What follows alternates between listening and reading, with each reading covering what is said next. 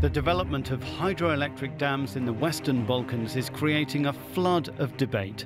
For some, infrastructure like this Tito era barrage built 50 years ago represents a model for future green energy production. But for others, such projects, both big and small, are the focus of contention and outcry. Bosnia and Herzegovina depends on dirty coal. Hydroelectricity is a cleaner alternative, but there are protests against dams and barrages. We are going to find out why. We begin with this hydropower project on the Trebišnica River. It was long left half completed, only what's called the lower horizons was finished. But now the so-called upper horizons part has been given the green light for construction.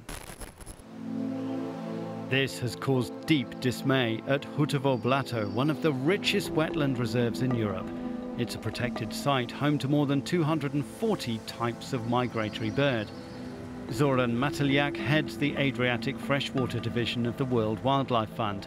He takes us on a boat trip to the heart of Hutovo Blato. Water is taken away from uh, Hutovo for uh, electricity uh, generation. This amount of water that we have right now, it's just half that is needed to support this sensitive ecosystem. This is one of last resort of Mediterranean wetlands. And this is under threat because of uh, works that are going on on Upper Horizons project. In that case, this area is uh, dead in 30 years. To see the debate from the other side, we went to see preliminary construction works carried out in the Dabar Dam project on the Upper Horizon site. The complex network of channels, tunnels, pipelines, artificial lakes and power stations will cost some 200 million euros. Željko Zubac, director of the Dabar project, meets his team. Yeah, here in this position we have to finish this zone. Yes, this part. This part, uh, it's a 12 kilometer long uh, tunnel which have main goal to transfer uh, waters from this catchment area to the power plant Dabar. The site is located in Republika Srpska, one of the two entities of Bosnia and Herzegovina. Our sources tell us that politicians have placed supporters within the Dabar company. The European Bank for Reconstruction and Development refused to back the project, while companies from Russia, Turkey, France, and Germany have pulled out. China stayed. Very important and a huge argument for the, the building of Upper Horizons is to make the clean energy because uh, the Bosnia and Herzegovina have a lot of water resources and uh, the clean green energy is our main goal with the building of this power plant. The war in Yugoslavia halted the Upper Horizons plans. Later on, the project ran out of money. Today, negotiations with Beijing are ongoing. If the contracts are signed, the Dabar project could be completed in about four years. Construction manager Nenad Klačar envisions a remodeled landscape with the karst plains and mountain valleys being cultivated by farmers.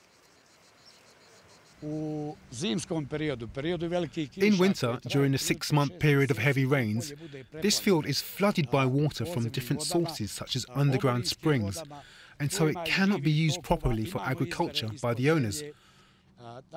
But this will change when we redirect the water. The Upper Horizons project will drain the water to the power stations. The limestone karst works like a sponge. A multitude of sinkholes and communicating pipes have created a labyrinth system of underground rivers. So will this project take away water from the protected wetlands of Hutovo Blato? The project director says no. This is not the catchment area of Neretva River and the Hutovo Blato doesn't belong to this catchment area. Environmentalists disagree. There are underground connections between the Dabar Valley and Hutovo Blato, says Zoran Mateljak. Closing those sinkholes in the karstic rocks would interrupt the wetland's water supply. This is the, the last chance to save this fantastic place. We need five cubic meters per second in summertime. These five cubic meters are under threat because of Upper Horizons project. Any additional diversion of, of water would kill this place. The spring at Buna is one of Europe's largest sources. It's filled by several underground rivers and channels and has water flows of 40,000 litres a second. There are fears the spring could suffer from upper horizons. We had a chat with local boatsman Haris Yusarevich. It's better for the river not to build it. And of course for the people working on the river, but definitely first point is protect the river. Here in the town of Konjic, the battles are being fought over small hydroelectric projects instead. Campaigner Amir Vasicic is angry about the dozens of tributary creeks that were diverted to feed the hundreds of small hydroelectric plants mushrooming across the Bosnian landscape. Our drone is able to secretly film the consequences of one such diversion.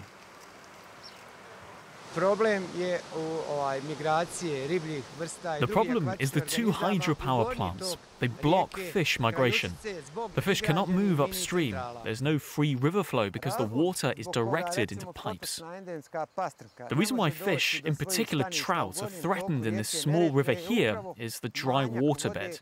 The hydroelectric company only releases 10% of the river water, so it can't flow freely meaning the fish cannot swim upstream to their spawning grounds.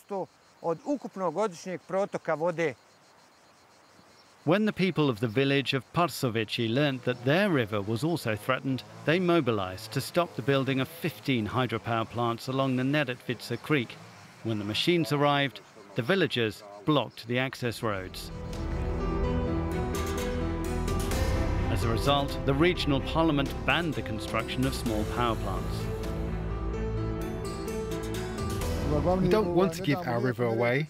The water for the river is really important for making a living in a rural community such as ours. 5,000 people depend on the river. The battle continues and we will carry on fighting until the very end, even if we have to die for our river.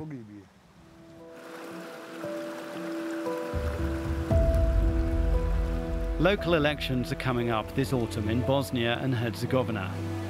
As the debate ebbs and flows, politicians appear increasingly likely to pour cold water on smaller hydroelectric power plants and turn towards larger scale projects instead.